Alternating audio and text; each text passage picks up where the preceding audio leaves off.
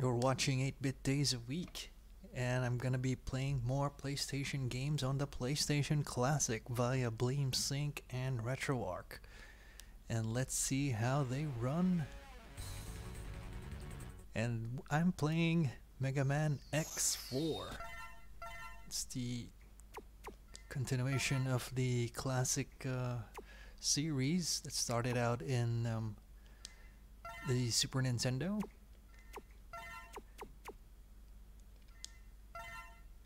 Of course, um, it's a sort of like a spin-off to the Mega Man series that started out in the NES. Although, at some points they some theories suggest they're actually just in uh, one big timeline, kind of like uh, how the Zelda series went. But anyway, different topic for another day. Um, anyway, yeah, Mega Man X4, classic, an essential to any 2D platformer fan, or even if you're not a 2D platformer, if you just um, if you just like a good game, this is definitely one I can suggest and we're in luck.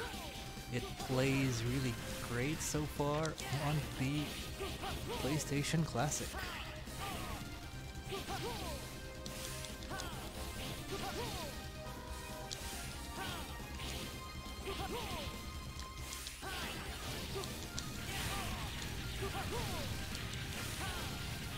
Of course, this has been also recently released on um, other consoles as part of a Mega Man X collection series.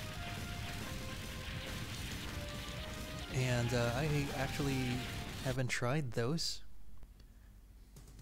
So I don't have any good comparison.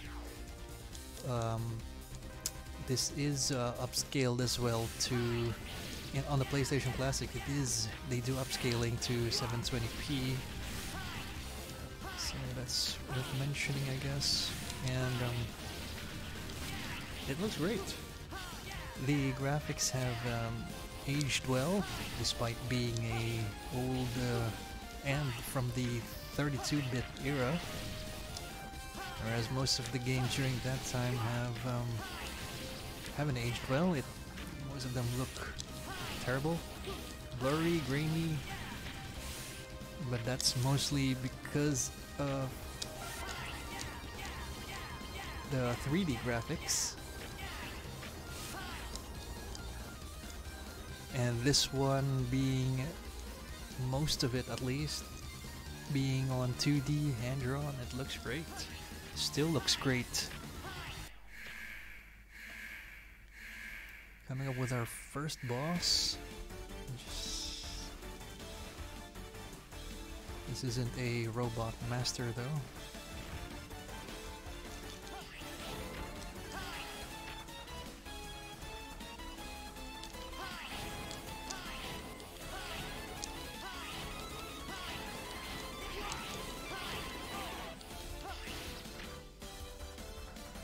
yeah, this is Mega Man X4.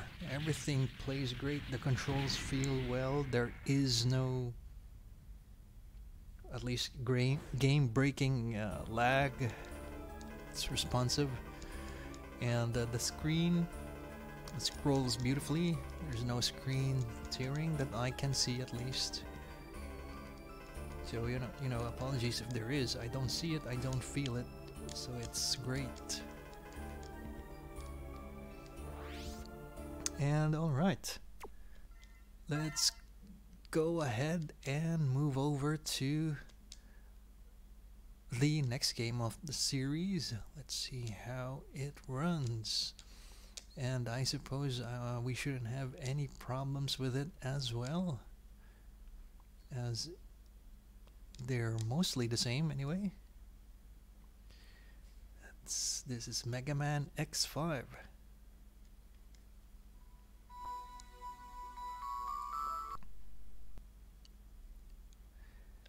Unfortunately, many believe this is where the game started going uh, downhill. Easy, extreme. What, what, what are the differences even? And uh, it's that um, the game design itself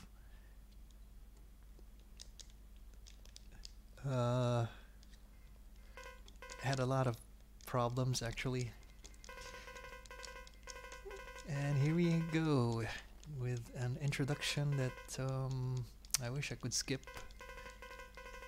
And uh, very generic static images with uh, simple dialogue, I guess. Alright, here we go.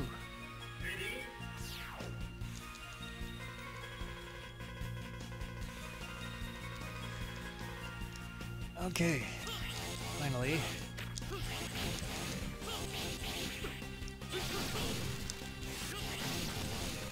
Of course, as expected, everything still played. Ugh. I was about to say plays great before I was interrupted by that. And uh, the thing about it is that I think that happens a lot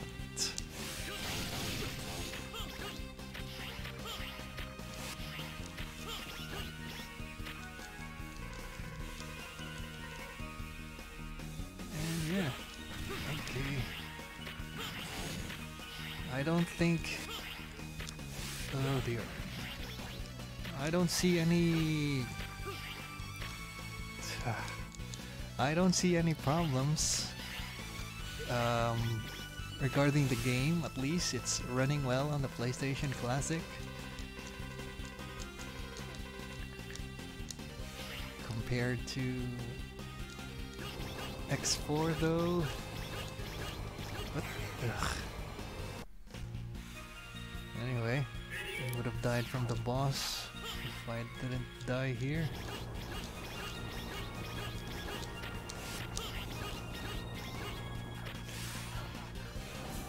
Okay, here we go. First boss battle, which feels like an end battle. Because it's gonna be Sigma himself again. A big head.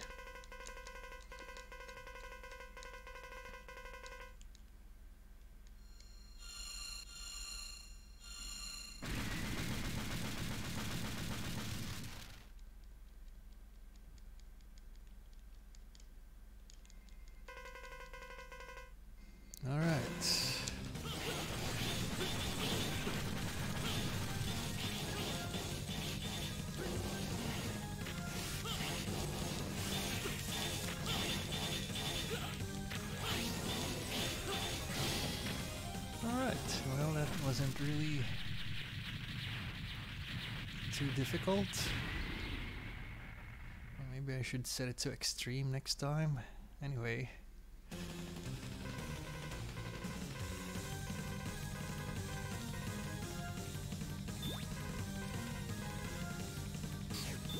Alia and Signas, I don't actually remember them in X4.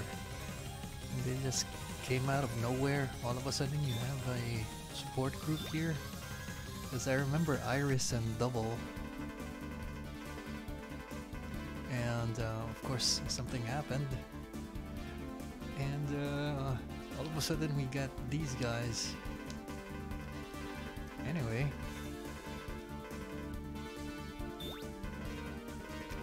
Let's uh, have enough of this. Let's go ahead and try the next game of the series if the console will let me. You've probably seen on my other videos that from time to time it would just uh, give me a black screen, it would hang up. And uh, alright, this is Mega Man X6. Probably the worst game in the Mega Man X series.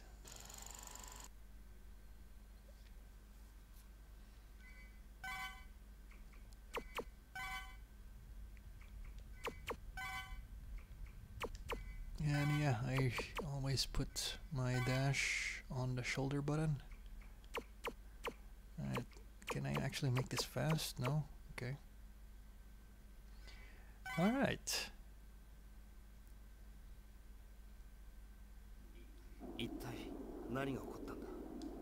Some voice acting.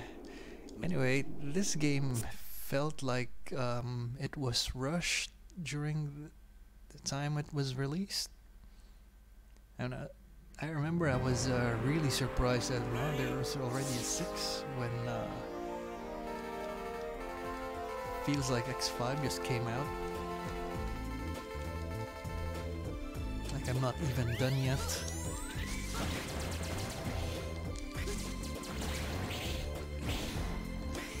And it's, it's uh, unfortunate that um, the way X handles the saber isn't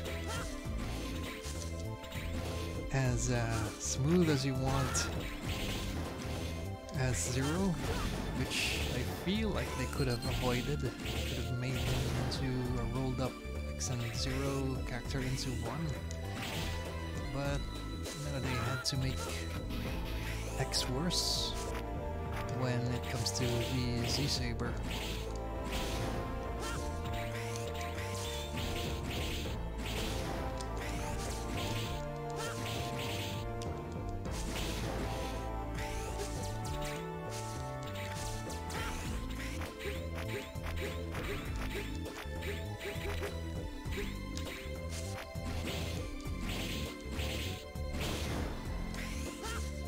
even if you um, like uh, 2D games, um,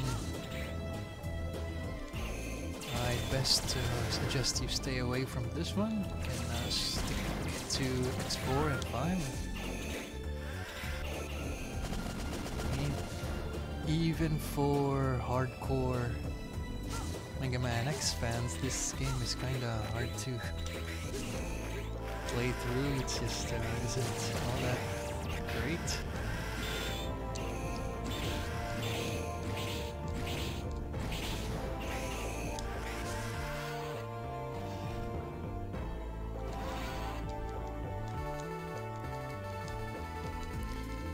So I would say X4 is essential to your collection. X5 if you like platforms, platformers and Mega Man X in general. X6, mm, save your space for something else. It's a lot of uh, games on the PlayStation.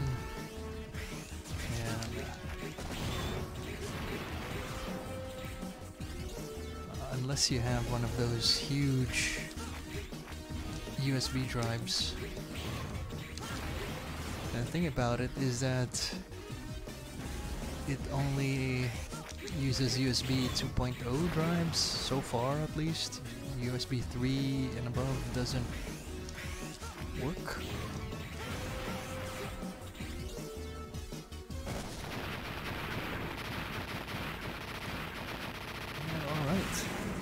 Go. This has been the sequel trilogy of Mega Man X on PlayStation Classic.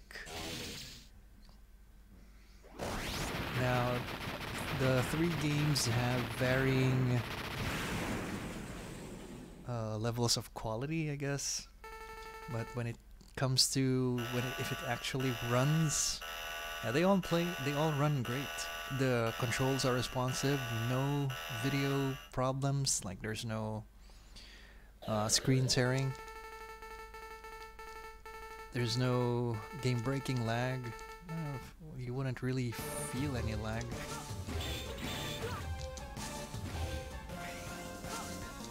Oh, that guy looks like something out of Astro Boy.